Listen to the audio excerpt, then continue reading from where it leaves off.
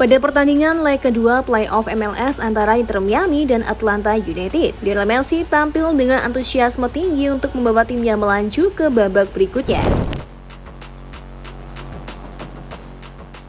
Setelah kemenangan di leg pertama, ekspektasi tinggi bertumbuh pada kemampuan Messi mengatur ritme permainan dan mencetak gol.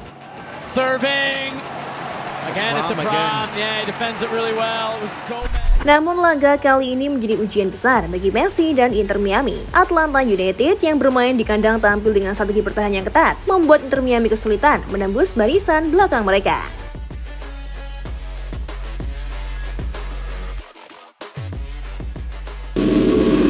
Strategi ketat Atlanta United membuat Messi terjebak. Sejak kulit pertama Atlanta United menerapkan pressing ketat yang menekan lini serang Inter Miami. Tim tuan rumah jelas telah mempersiapkan strategi matang untuk menahan Messi dan rekannya, membatasi ruang gerak serta memaksa mereka bermain di tengah lapangan. Flicking it back in, Redondo for Atlanta in the playoffs. Here's Messi for Miami. Setiap kali Messi mencoba menggiring bola, pemain bertahan Atlanta segera menutup pergerakannya. Upaya Messi untuk membongkar pertahanan ini tampak dalam beberapa peluang dribble, tetapi lini pertahanan lawan yang solid berhasil mematahkan banyak serangan. Messi, oh, it's open for Weigant down the right side. Has Jordi Alba on the back post. So Abraham's going to slide in here, and that is Atlanta tampaknya menggunakan strategi khusus untuk menghadang Messi. Dan upaya ini berhasil hingga babak pertama berakhir tanpa banyak peluang berarti bagi Inter Miami.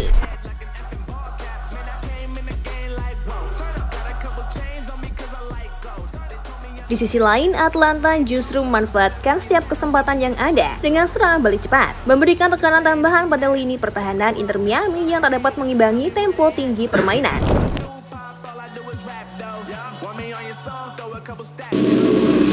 Usaha maksimal Messi yang tak berbuah gol. Meski Messi berusaha keras untuk mengatur serangan dan mencetak gol, statistik menunjukkan betapa sulitnya pertandingan ini baginya. I'm going to stand right on Noah Allen and make sure that out of the midfield he cannot just rely on Moranchuk and Dalam laga itu Messi mencaratkan empat tembakan dengan dua di antaranya tepat sasaran, tetapi sayangnya tidak satupun berhasil masuk ke gawang Atlanta. Messi comes forward.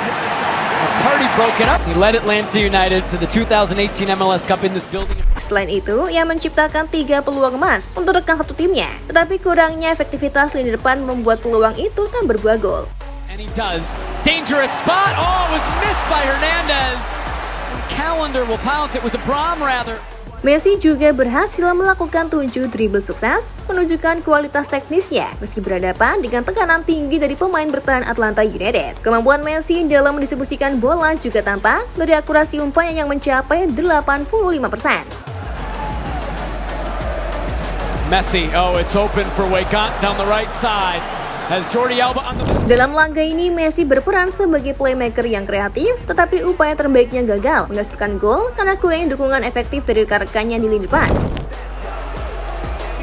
Messi will drive it in. His feet. Time and time again. Oh.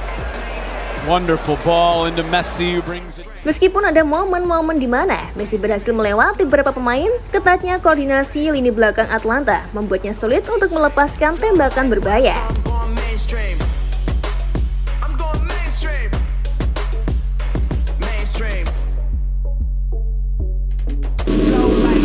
Kekecewaan di akhir laga bagi Inter Miami. Jalannya waktu, Messi tampak semakin frustasi. Tekanan dari Atlanta United tak kunjung mereda dan waktu terus berjalan. Pada babak kedua, Atlanta United memanfaatkan peluang untuk mencetak gol yang menambah beban mental bagi Inter Miami.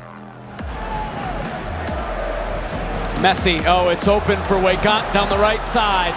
Has Jordi Alba on the back. Kegagalan ini tentu menjadi sorotan mengingat besarnya ekspektasi terhadap Messi sejak kehadirannya di Inter Miami difficult start here for Atlanta United. Giving away, Suarez shifting, and Suarez! But my word, the last thing you want to do if you're Atlanta United is Sejak debutnya, Messi memberikan dampak besar dengan membawa energi baru, performa cemerlang, dan kemampuan luar biasa di lapangan.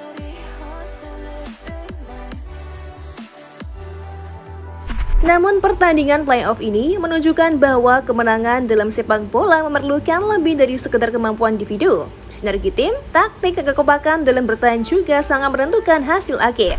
Here, going up against Lionel Messi and Inter Miami as Messi comes forward. Messi. Pelajaran bagi Inter Miami dan Messi. Kekalahan di playoff ini memberikan pelajaran berharga bagi Inter Miami. Meskipun memiliki pemain bintang seperti Messi, yang membutuhkan pendekatan yang lebih taktis serta ketajaman tim yang lebih kuat untuk menghadapi lawan yang memiliki strategi disiplin seperti Atlanta United. Time and time again. Oh. Wonderful ball into Messi who brings it down. Dengan melihat perkembangan ini, Messi dan Inter Miami bisa belajar untuk berkuat sistem permainan mereka di masa depan.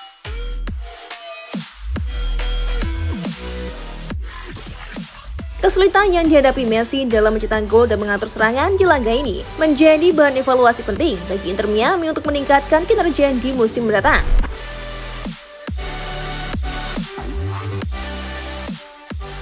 Selain itu, untuk Messi pribadi, ini juga menjadi tantangan baru dalam karirnya di MLS. Setelah bertahun-tahun bermain di kompetisi Eropa dan tampil sebagai salah satu pemain terbaik dunia, Messi kini menghadapi kondisi yang berbeda di Liga Amerika. Ia harus beradaptasi dengan gaya permainan yang lebih fisik dan lawan yang lebih fokus pada strategi bertahan.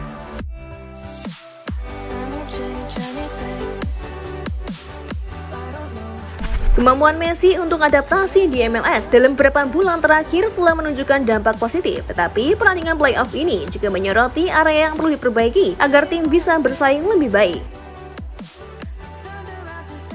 Secara keseluruhan, meski Messi tampil maksimal dalam laga ini, Atlanta United berhasil memanfaatkan kelemahan Inter Miami dan maksimalkan kekuatan mereka dalam bertahan.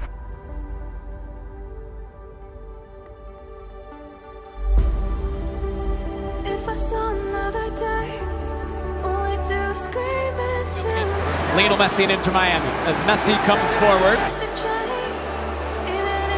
Messi will drive it in his feet. Time and time again. Oh.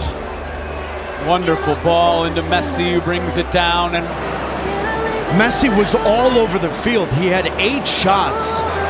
From Messi and still scoreless. Whatever it was, Brad had his number.